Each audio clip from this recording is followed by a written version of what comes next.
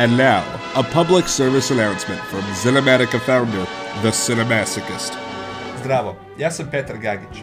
Možda me znaš bolje od imena filmski masakist. I ako me znaš zbog toga, znaš da ja volim da gledam filmovima sa krvim i eksplozijima i velikim sisama i hororima i strava i užas. Eksploatacija. Onda možda misliš da je malo van mene da ne volim film srpski film. Hoću ovo da razumeš. Nije da ga ja ne volim zbog šta je u njemu. Ja ga ne volim zbog kako se zove.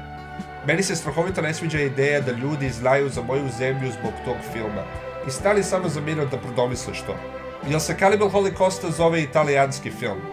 Ne. Jel se Ljudska snoga zove nemski film? Ne. I što je to? To je zato što to nisu filma što su reprezentacije od te zemlje. Da ga zoveš srpski film, to kaže da je to naša jedina filmska industrija. I to je govno. Mi imamo prave filmove i mi imamo prave glumce. Rada Šerbiđe, Mila Jovović, Ličije zemlja, Lepo selo, lepo goro. I zamisli ovo, šta ako bi mi napravili film o velikim debelim muškarcima što odu i siluju decu i žene i onda se peru uljem i parama. I taj film bi bio zvao Amerikanski film. Ne bi samo bili ljuti, ali bi nas sigurno ubili. Znači, sigurno možeš da razumeš da ja neću ljudi znaju o mojoj zemlji zbog beba pornografija.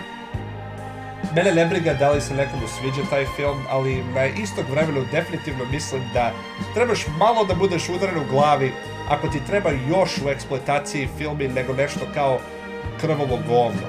Ako ti treba grafičnog silovanja od dece, onda malo si, samo si malo udaren u glavi. U stvari, znaš šta, taj što je napravio taj film može da se obesi sa tri ogromnim kurca. Šta me briga. I to je to. Ja sam Petar Gagić, ja sam Srbin i srpski film može da se nosi u tri pičke materine. Ćao.